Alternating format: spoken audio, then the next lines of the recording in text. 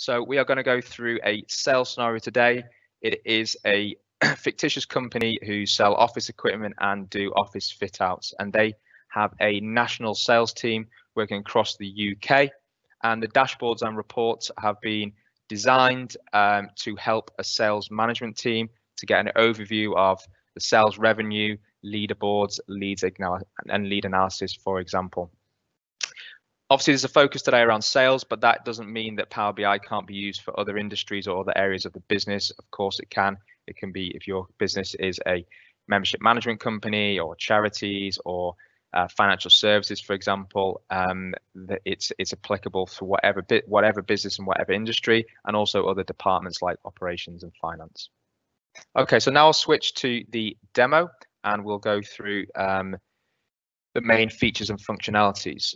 So I'll switch over to here, and this is um, Power BI. It's a web-based application, so you access it via a browser. Um, if you are familiar with Office and you have a Power BI license, you will have the Power BI icon available in the the um, the overview, and you obviously click that, you'll get taken through to the Power BI web service.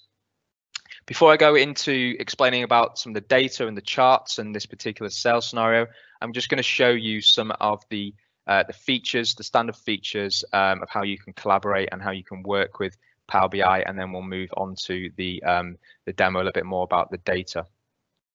So in this screen here, you can see a dashboard. Now, Power BI, when you do a, a Power BI setup, it consists of dashboards and reports.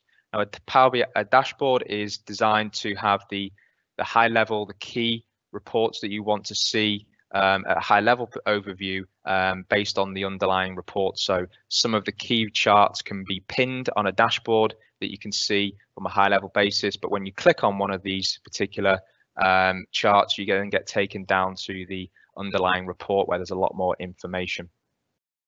You can also um, view this in a mobile form. So like I mentioned, the accessibility is good for Power BI. There is a, a Power BI app um, it is on any app source or um, or, or the Google Store uh, stores, and you can see here how the data can be visualized in a mobile form, and that just makes that data so accessible. It's published in the cloud.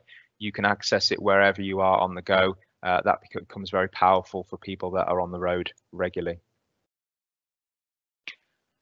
You also got a possibility of adding a dashboard theme as well. So there are some standard themes that come out of the box. You have the light theme, dark theme where you can see there it just makes the data pop out a little bit more.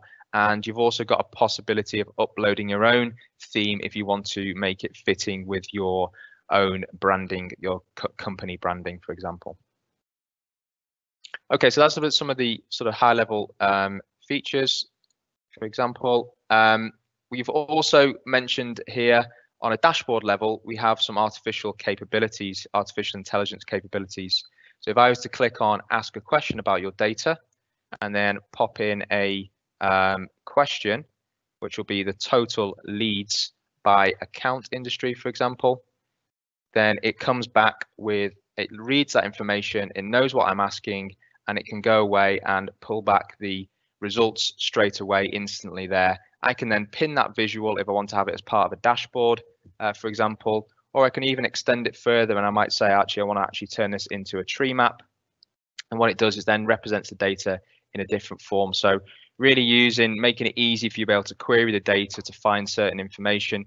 You do need to, you do need to get familiar with the way that you ask the questions. Once you've got familiar with that, it's very easy to find that information and you're not just limited to the reports that are already pre-built and the way the data is designed. You can ask those questions to query the data and get it in the format that you want. Okay, so that's the the Power BI capabilities there. Sorry, the artificial uh, intelligence capabilities. Um, now, if you if we go into the the data in a little bit more uh, detail and about the sort of sales scenario. So this, like as I mentioned before, this is a dashboard. It's the high level overview of a lot of the reports. But if I was to click onto one of these reports, it then takes me down one of these charts. It then takes me down to the lower level. So for example, if I was to click onto new leads trend, for example, it then takes me down to a lower level where you can see that we have a pa pages uh, here and there's a lot more visuals and reporting going on on those particular pages. Now this one here for this scenario, we have a lead analysis page, we have sales performance, we have a win-loss analysis, sales pipeline, and sales leaderboards. So these pages are can be designed. You can have as many pages as you want really here, and you can split your data out into different sections. What you also have as common on all pages is you have this filter option here. Now this filter option is really good to be able to filter the either this this particular page or filter on all pages. So this works well for when you want to maybe view the data based on a fiscal period, maybe a, a quarter, might be a month, might be a year, or you might want to take data in for several years to be able to look at the differences between that data.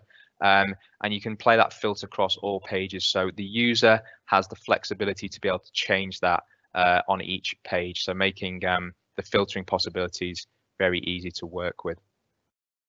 Well, you also um, have a standard with most Power BI uh, reports. You can actually switch this off, but it's a really nice feature is that the, the forms are dynamic and interactive. So for example, sorry, the reports are um, uh, dynamic and interactive. So if you are to click on a certain option, for example, if I were to click on the amount of cold leads uh, that we have uh, currently open, you click on it here, the rest of the charts get on this page get filtered by that particular criteria. So I can see on the map here the cold leads and where they are located in the country, for example. Likewise, if I was to click on warm, it would then show me the warm leads, um, the warm leads in the country and filter the rest of the data so I can see trends on on warm leads, for example. Okay, so we have a, I'll go, well, I'll go through the, the different pages to showcase some of the chart types and explain um, what the um, they are good for and how this can help a sales organization. But before I do that, I just wanted to go through some another standard feature that you get on most um, chart types is that you can drill down to a lower level of the data. So here we have a chart that is showing leads, open leads by source. And if I wanted to drill down further and actually see, okay, we have this word of mouth, um, word of mouth lead source. I want to see what sales representatives have these leads assigned to them. So who are the most, who are the busy with uh, getting the, the name out there for, of the business and doing their job effectively. So if I click on this little option here to drill down, I then it then becomes active to drill down. When I click on the chart, it then takes me down to the next level and I can see that actually six have been assigned to Jessica, six have been assigned to Kib, and six to Diana. Um, so I can see how that split is, and that can work with any option here. We can take it down to uh, a lower level and drill down into the data. So like I mentioned before, there's a real benefit there because you're not just got those static reports, you can go down a lower level as well. So some really nice nice features there to uh, to be able to um, to be able to filter the data at a lower level. Okay, so come at some of the chart types here. Um, we have obviously a card, which is quite good just to get some high level information and to sum up some of the figures. So for this particular lead, we have conversion rates, we have lead qualification rates, and these can all be put together by sort of calculated fields in the background. We would use the data there, sum it all up, and then create uh, some calculated fields to present that information. Obviously, when certain filters are there, you can see that the rest of those calculations get filtered as well. So some nice, uh, again, some nice filtering possibilities. We have standard bar charts and line charts. We have um, pie charts, for example, but there are also some ones that track trends well and visualize trends. Uh, and we have the uh, sort of the funnel option here as well, where it orders um, it orders um, leads by industry, by the ones that are most popular as well. If I click down to the next option here where we have sales performance, you'll see some other options here where we have a sort of a trend going on here to, to plot the the currency, uh, sorry, the uh, the revenue over a certain period as it goes on in the months, for example. We have a tree map to show the pop popular industries by won revenue and the proportion of that revenue across those different industries. Uh, we have a donut chart so we can see the revenue that's been won, how has that been split across the territories? So we can see here, Southeast is doing pretty well and also the Midlands. Um, we also have a gauge here as well, which is a good thing for sales uh, managers to get an overview of. This shows here that you have Um, it's one won revenue versus estimated revenue. So overall, for this particular period, the estimated revenue being, has been 3.22 million, but actually the won revenue was only 2.86 million. Now that is good information for the um, for managers to see that when um, their sales personnel are estimating uh, opportunities and what the money that's going to come in. So the forecast reporting, they are slightly out on their estimations from the actual money that is brought in from those deals. You can also plot certain trends as well. So not only do you have your um, your your figures in bar charts, you can plot certain trends on there as well to get an overview of how to visualize the, the the progress there or to highlight areas that need improvement. If we go over to the next one here where we have the win-loss analysis, this is also another good example here where of trends plotting certain trends for won revenue and lost revenue, the averages. Uh, so you can see that on the, on the chart. But what you can also see on the left hand side here is there are some on on page slicing that you can do as well. So here we can limit the industry. Um, we can actually select certain territories or even down to the sales personnel as well, the owners of these um, opportunities. So for example, if I wanted to see uh, the Midlands and I wanted to say for consulting, for example, then I can filter the opportunities based on the Midlands and then also go a further step and say I only want to see the um, the opportunities that have, have won or lost for the consulting industry uh, in the Midlands.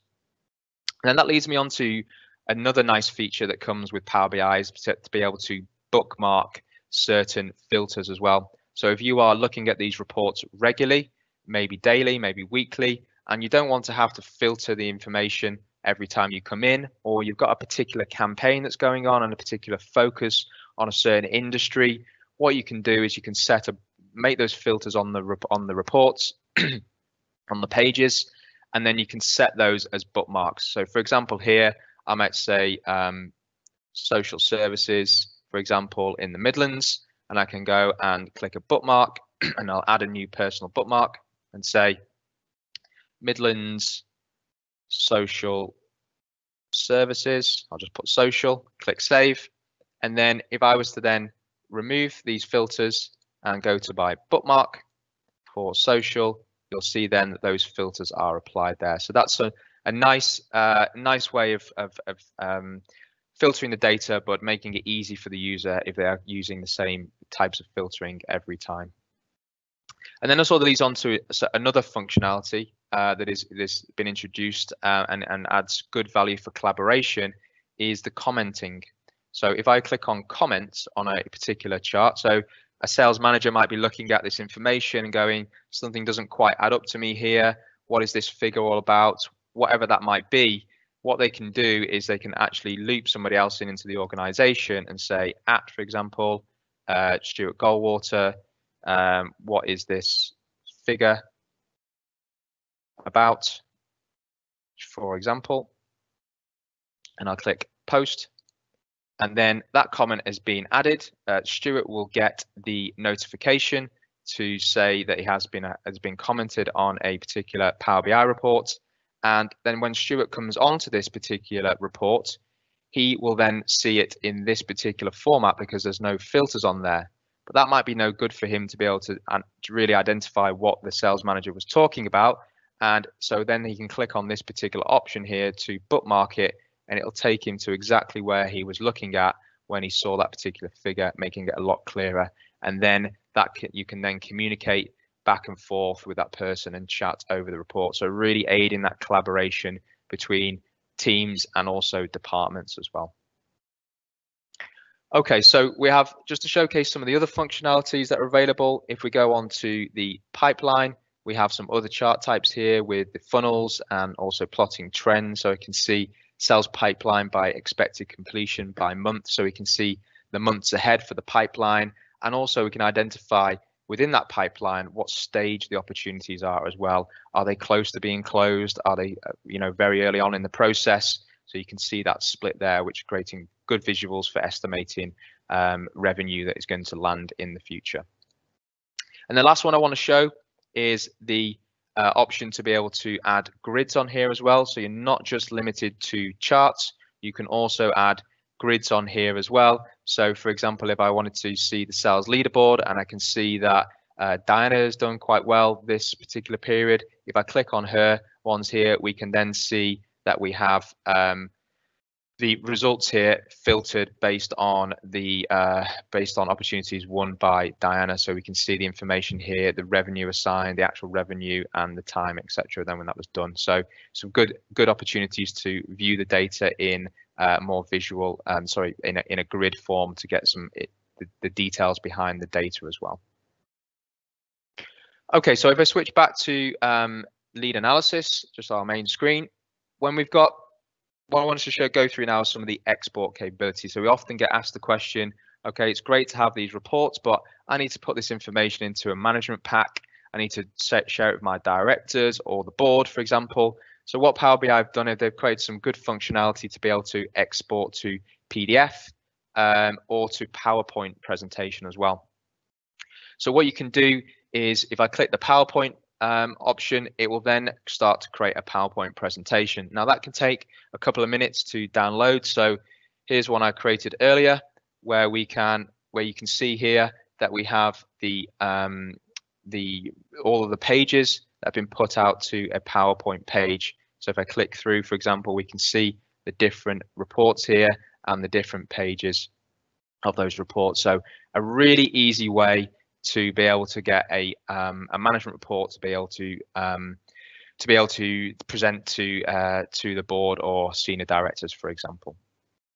What you can also do with the export to PDF is not just have it how it is at the moment. You can also filter the information before you actually send it out to a PDF or PowerPoint. So, for example, if I wanted to just show a certain um, territory or I was a manager in a cert for a certain um, sales team, you could filter it on that information and then take it out to PowerPoint. So some good uh, possibilities there as well.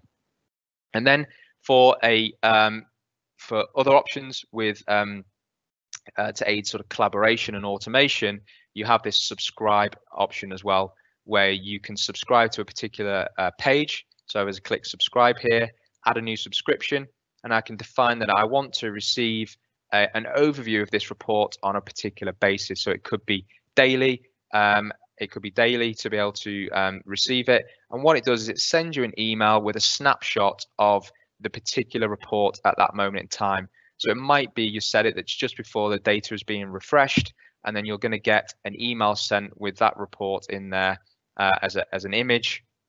Uh, so you can see an overview of that information uh, and that's been sent to you automatically. And then if you click it, it then takes you through to the report itself.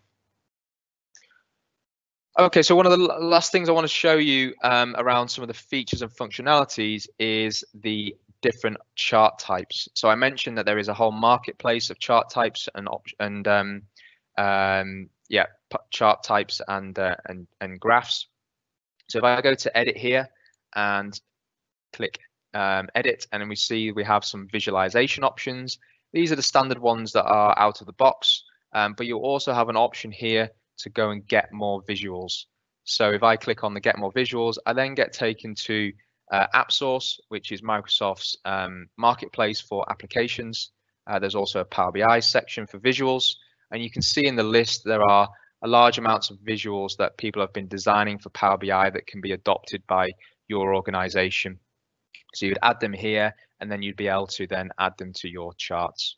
There's also a possibility as well, uh, if you're that way inclined, to build your own chart types and publish them. Um, but that gets obviously a little bit more complex um, and you'd obviously have to have some specific needs to be able to do that as well. Um, so, but that is, is a possibility. Okay, so I'm going to, um, that's the sort of end of the demo showcasing some of the features and functionalities. Um, I'm now going to switch back to the presentation. So if anybody anybody has any questions or queries about Power BI or looking to adopt it within your organization, please reach out to us on pragmatiq at pragmatiqsolutions.co.uk or you can call us on 01908 038 110 or you can also reach us reach out to us on email at marketing at pragmatiqsolutions.co.uk.